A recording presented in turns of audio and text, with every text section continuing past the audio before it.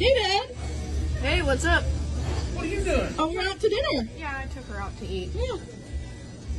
How have you been? Surviving. How Are you? I think you already know him, but yeah, surprised me. Oh, well, you said who else? So I'm dirty and filthy? So,